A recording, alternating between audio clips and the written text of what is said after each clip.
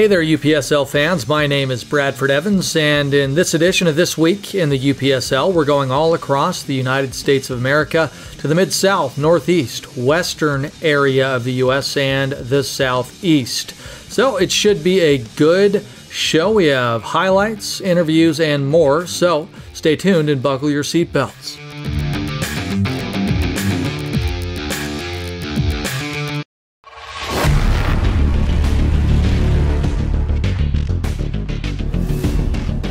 Let's go ahead and see how things are going in the Mid South Conference. Bowling Green FC against Music City Soccer Club. Bowling Green FC having a pretty darn good season so far. They're on the left side of your screen in the white jerseys, whereas Music City wearing the gold kits. Here comes first opportunity. What a climbing header there, almost in the back of the net. A good thinking though, as play continues here for Music City Soccer Club saved by the keeper there on the near post shot. Then here comes a low driven shot that goes into the back of the net. It's now 1 0 for Bowling Green. And then here comes a little bit of a fancy set piece, then a cross to go with it. And uh, just offline there on the shot. So it's 1 0 right now as play continues. Here comes Bowling Green FC. Look at the move into the back of the net. after breaking past a few players. A pretty good move there. 2 0 now for Bowling Green FC. As we have another opportunity for Bowling Green, a laser is parried away. And then Music City on the right side now. And a shot has a bit of a dip and then goes in the back of the net. Mistake by the keeper, but it was a difficult shot to deal with. 2 1. And now 3 1 off of the deflection for Bowling Green FC. So that's the final score 3 to 1. Quickly transitioning, We United FC against Pumas Premier. Pumas Premier on the right side of your screen in the red kits.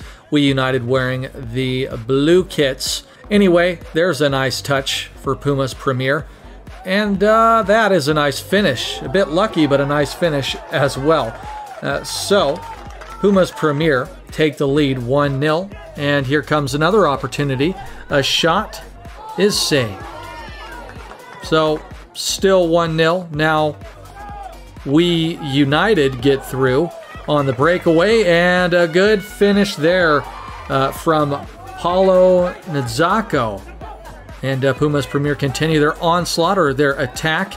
Could it turn into a onslaught? No, not there. It's still 1 1. Uh, nobody leading. An even game so far in this highlight. Keeper comes out and gets chipped. Nope, he uh, actually, luckily, didn't get chipped. Anyway, it's 1 1 now, and there comes another goal. Nice finish from Pumas Premier. Now, ball back with We United. Good through ball. Keeper is way out of position. I don't know what he was doing. Uh, out past the 18 yard box, and he pays for it. It's 2 2 up to this point. That was Nizako again scoring. And then we United scoring with Nedzako. He had four goals in this game. You're going to see all four. I don't want to give anything away, but I kind of just did. Anyway, ball bouncing around. Keeper finally grabs it. It stays 3 to 2. And then a hit upfield past the back line. Can we United run onto it? And guess who? That is Paulo Nizako again. So uh, Puma's Premier doing pretty fantastic in the beginning, and then uh, We United taking the lead later in the game, and uh, We United get another goal, five to two is the score right now. Uh, Puma's Premier trying to get some goals back, and uh, that is a way to get the goal back. Could that be in our top goal of the week? Five to three, though, the final score.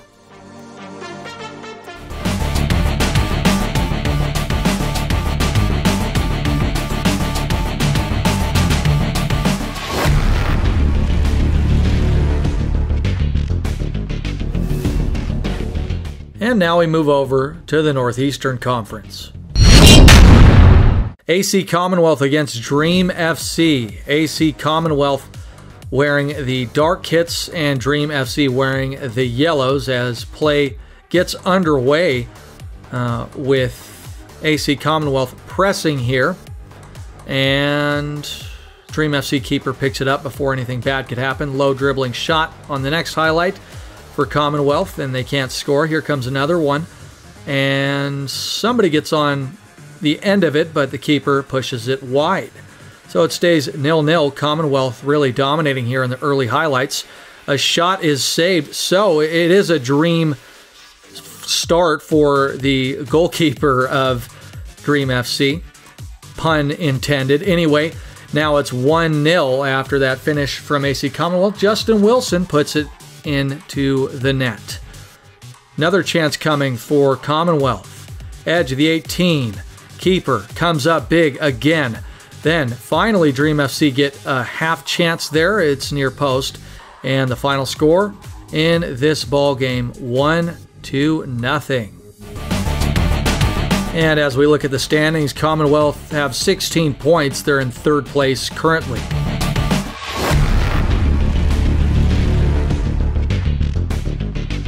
Let's see how things are shaping up over on the West Coast in the Western Conference. Now, Elk Grove Blues against Vacaville Elite. Elk Grove Blues and Vacaville is a NorCal matchup. Elk Grove Blues, guess what uh, kit they're wearing? They're wearing the blue kit, in case you didn't notice from their name. Anyway, as action gets started, uh, we see the ball on the far side. And uh, first chance coming right after the kickoff here. And a dribbling shot is uh, not going to trouble the keeper too much, but still good job to test him within 30 seconds. And there's a shot there by Vacaville Elite. Then across in.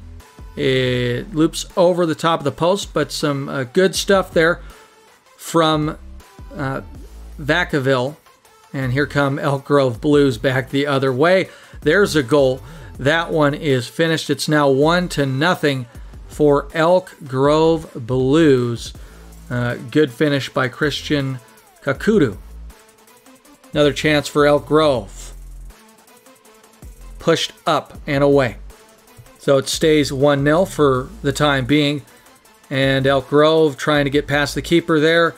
That is Kevin Kamora and he almost scores once and almost scores twice, but it bounces off the post and it stays 1 0 for now. And as we see, the ball's back with Groves, but a poor touch leads to an open chance for Vacaville Elite. Can they finish? They can. That was Mario Gutierrez who scored.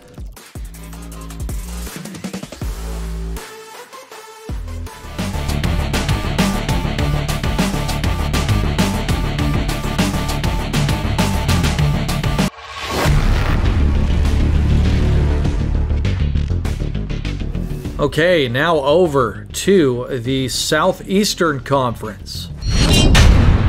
Naples City FC against Tampa FC. Naples City wearing those uh, classic striped kits with the yellow bottoms. And Tampa on the left side of your screen looking like the Tampa Bay Buccaneers of the NFL in the pewter. Anyway, don't know if they wanted to do that on purpose or not, but uh, I like the kits. Anyway, first chance coming for Tampa FC. It's saved, and here comes Naples City back the other way. Uh, shot smoked to the left side. Tampa FC try to get that into the net, and it's pushed away. And here come Naples City FC on the next opportunity. Good cross, plenty of height. It's headed clear for the time being, but another cross that is uh, fantastic, and it goes into the back of the net. Keeper should have gotten that one, but Naples City is going to take it. Uh, they score. Jason Marquinha Gonzalez scored that one. 1 0 now for Naples City. Low driven cross by Tampa. And what a finish there. Sliding down and uh, putting that one home. It's 1 1. And here come Naples City FC on the right side. That already worked for them once with the winger and it falls out to the edge of the 18 yard box, and the keeper can't get it because of the deflection. 2 to 1 for Naples City FC. Jason Marquinhos Gonzalez again scoring. Tampa FC, though, trying to answer back. A heading cross is put in and it is saved. And Naples City trying to get another one to go into the back of the net, try to add to their lead. Can they do so as the ball's kind of ping ponging around? And there is a shot that is saved. So 2 1 up until this next chance for Naples. Nice through ball, and the finish leaving a little bit to be desired. And the final score, though, Naples City win 2 to 1 over Tampa FC. Siguiendo las indicaciones del profe, eh, desde que empezamos venimos jugando bien, venimos entrenando, eh, siempre dando al 100, eh, siguiendo todo eh, como el profe nos indica. Y bueno, hoy se dio el resultado, salimos del primer momento a, a presionar.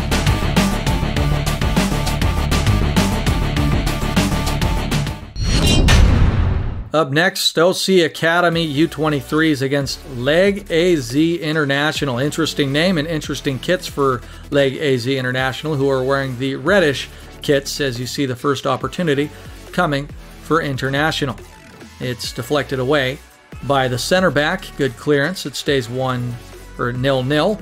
And here come OC Academy. Good finish there, scored by Cameron Lacey. It's 1 0 for Orlando City. Then long ball played to the right flank in the half space and then crossed and smothered by the goalkeeper. It stays 1 0. And OC Academy continue to lead this one as we see International coming back on the left now. What a move.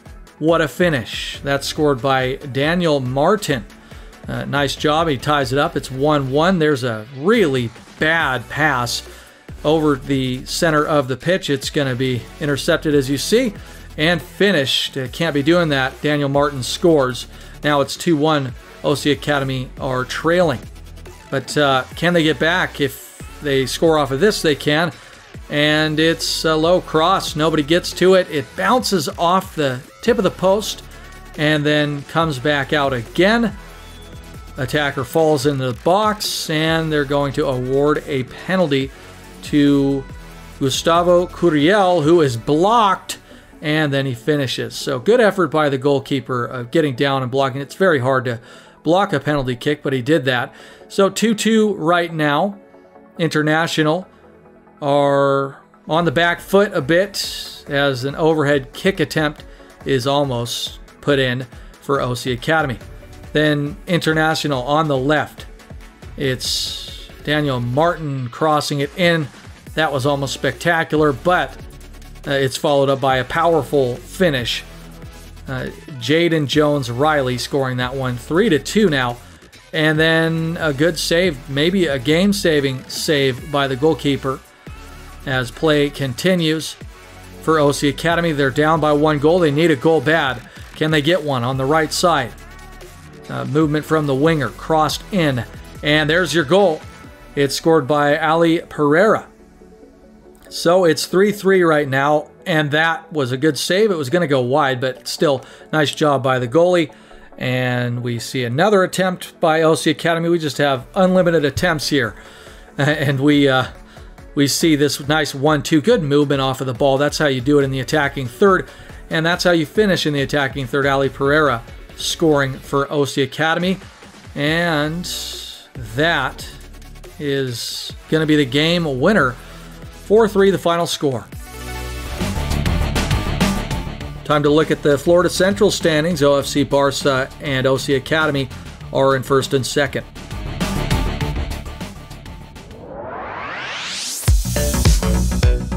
Time for a look inside our club of the week. The director executive of Miramar United Elite FC, Richard Jobson, is going to talk about his team.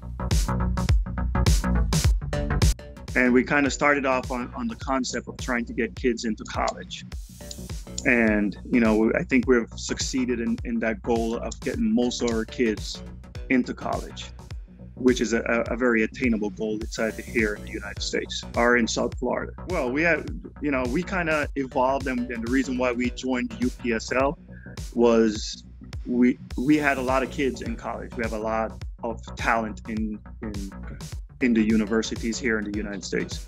And what we did was they needed a place to play to to keep get them in shape, keep them in shape in the summer. So what we did was we we said, okay, we, we're gonna the kids who graduated or left our, our club, it's something to come back to. But also we have several players that's from our our youth academy that is playing in this league. So really to push them so they can go to college and and, and be in that starting eleven. Well, it's a growing league, and uh, our players, it's it's it's it, it I think it's the bridge between becoming a a real professional and and becoming you know to the big leagues whether the kids aspire to play in the MLS or USL or even into Europe. I think you know getting the kids to play at a higher level uh, against the best players you know in the United States or in Florida and I, I think UPSL was was the, the right transition for our club.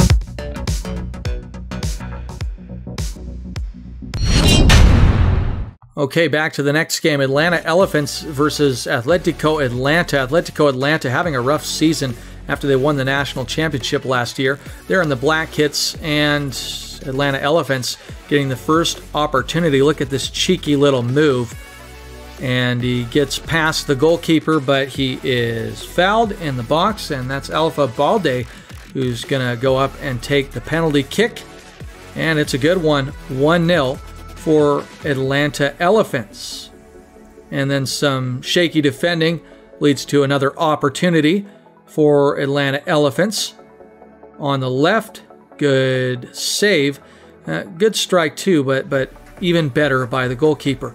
Anyway, ball cleared upfield. Bad touch by the center back. Now a one-on-one. And will it be finished? Yeah, it's finished pretty easily uh, nice goal there from Atlanta Elephants. They take a 2 0 lead over Atletico Atlanta. And Atletico Atlanta last ditch defending on the left. And what's that going to be? Is that going to be a penalty kick? It is. Balde steps up again and puts it into the back of the net. 3 to nothing up until this point. As uh, Balde's having himself a heck of a game here. Now on the right, Will the ball be crossed in? It's at the edge of the 18 yard box. Dancing around, shifting, and finishing. Beautiful move there. That was Alpha Balde scoring. Actually, that was Mustafa Dante, pardon me. So it's 4 0 for the time being. Can Atletico Atlanta get anything going? Really struggling this season, which is just such a surprise. Uh, formerly Jinga Atlanta last year and then they had the name change and, and things changed. Anyway, that is deflected away, and uh, we'll see what the official says. He says it's a penalty scored by Castro Welder. So he gets one back. It's four to one, and that is the final score. Atlanta Elephants take the victory. Up next for Atlanta Elephants, a matchup against LSA Limeño, so that should be tough. Now, on to the top goals of the week presented by Score. Uh, we usually have a plethora of them that are pretty good. This time we have seven. Olympiacos DC, Lynchburg FC is who they were playing in a 4 to 3 loss. There was a pretty sweet goal. And so, you know, a consolation there, but still they did not beat Lynchburg FC. But they probably had the best goal of the match. Or did they? We don't know yet as we're at number six now. FC Midland against Detroit Union FC. Uh, they won this game three to two, and that's thanks to this beauty. Uh, look at that! It was like a laser that was just guided into the back of the net.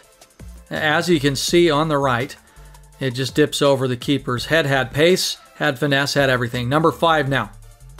SC Heat. Ball crossed in spills to the edge of the 18 yard box. Is ball going to be headed? It is volleyed. Uh, that's a heck of a goal as uh, SC Heat get the victory over Moros FC. And uh, that's a big reason why there. Number four, OC Academy U23s against Interjacks FC. And uh, there's a finish to the left. And uh, good goal. Uh, just kind of finessed it in. Nice uh, pace, nice, just good goal overall. Anyway, number three now. Florida Fusion SC. And their loss to Miami Sun. Uh, that's a good goal to go with it. I, consolation again. I always bring that up when they don't win, but uh, uh, he's going to remember that goal for quite a long time. Maybe one of the best he's ever scored. Uh, Miami Sun SFC going back again. A chip, bit lucky, but I'm, I'm going to give it to him. I'm going to say that uh, the attacker meant to do that and give him the benefit of the doubt. Number one now. This better be good. Miramar United Elite FC. Okay, I can already tell. Oh my gosh. Oh my gosh. That's all I can say. Look at him juggling around at, almost at midfield and then just blasts it. I mean, that was sensational. That's as good of a goal as you could ever see. And that's it for our top goals of the week presented by Score.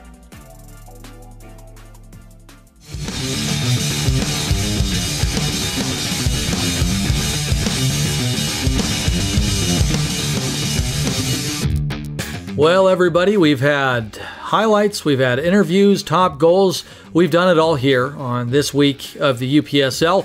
So I leave you now. Until next time, everybody, my name is Bradford Evans. Have a wonderful weekend.